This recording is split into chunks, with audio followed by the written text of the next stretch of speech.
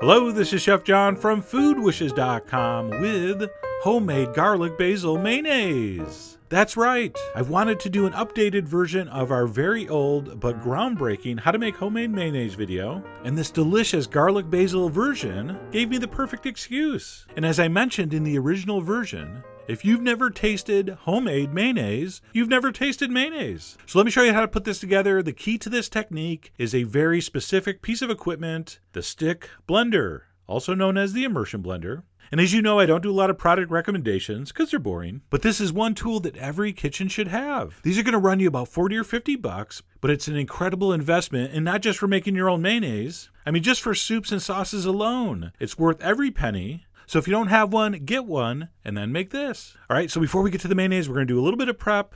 I'm going to pick about a cup of basil leaves because what I like to do is blanch my basil very briefly to lock in that green color. And I'll talk a little more about that later. But I have about a cup of picked basil leaves. On the stove, I'm going to bring some water to a simmer and right next to it some ice water. And we're going to do two things. Like I said, we're going to blanch our basil, but we're also going to sterilize the outside of a couple eggs. And some of you in the original version were a little concerned about the raw egg. You were like, I'm scared of dying from salmonella poisoning. So to play it super safe, we're going to dunk those eggs in this simmering water for about 30 seconds. That will kill any critters on the outside. So we're going to give that about half a minute in that simmering water, and then we're going to transfer that into our ice water. All right, we don't want to cook the egg. Like I said, we're just sterilizing the outside. And once that's happened, go ahead and dump in your handful of basil. And this is literally only going in there for a few seconds. As fast as you can get it in and stir it around. I want you to fish it out with your strainer and put that into the ice water to stop the cooking. All right, so our basil is blanched. Theoretically, our eggs are safe. And now we can proceed with the recipe. In addition to the stick blender, even more importantly would be some kind of mixing container which has a base basically the same size as the blender. Now, these usually come with some kind of measuring cup like this. If it doesn't, you can use like a pint beer glass or a measuring cup, but it is key that the base of that is not much wider than the blender itself. Otherwise, this just won't work, which means it won't get thick and rich. It'll just stay liquefied, and you'll be very disappointed.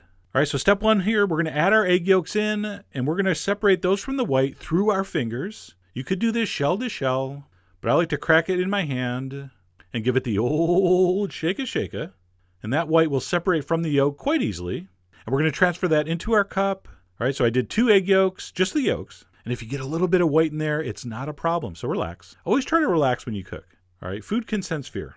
And in addition to two egg yolks, I'm going to add some garlic. You want that finely minced to begin with. This blender is much more of a mixer than a cutter and chopper, so make sure your garlic's crushed pretty fine. We're also going to need some acid. I'm using lemon juice. Vinegar also works, or a combination. We're going to throw in a big pinch of salt, some cayenne, and some freshly ground black pepper. At that point, we're going to go ahead and add our basil. All right, so give it a squeeze. And regarding blanching the basil, if you don't, you'll still get this nice, pleasant light green color. But after a day or two, it kind of turns gray and oxidizes. And by blanching it, it seems to stay nicer longer. So that's why I do it. We're going to toss that in. I'm also going to put in a little spoon of Dijon mustard. Mustard has a natural emulsifier in it, which helps this process. And then last but not least, our oil gets poured over the top. All right, so I want you to put the oil in last. I want you to give it a minute so everything settles. And then it's time to blend.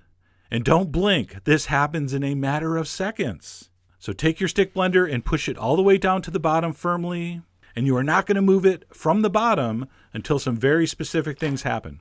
We're going to start by pulsing on and off one second at a time. So you're going to pulse, pulse, pulse, and we're not going to move that blender until we clearly see mayonnaise forming at the bottom. When you see that thick, rich mayonnaise forming, you can pulse it on a little longer. You can slowly wiggle it and start drawing it up through the oil.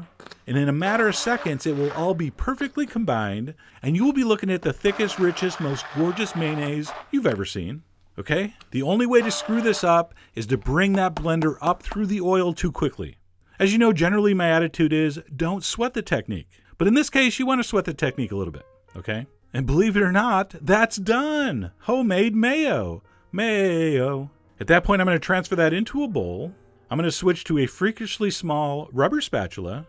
And then we'll taste for seasoning. Maybe you want a little more salt. I did. That's up to you. You're the boss of your homemade mayonnaise seasonings. So taste and adjust. And once that seasoning's perfect, go ahead and enjoy this in any one of 8 million ways. If I had to pick one way, it would be like this, just on bread.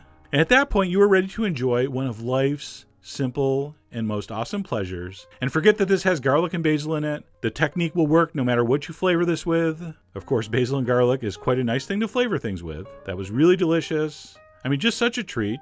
So, anyway, I really hope you give this a try. If you have a stick blender, you have no excuses. And if you don't, buy one and try this. Like I said, it's an amazing tool, and this is just one of the things you can do with it. So, head over to foodwishes.com for all the ingredients and more info as usual.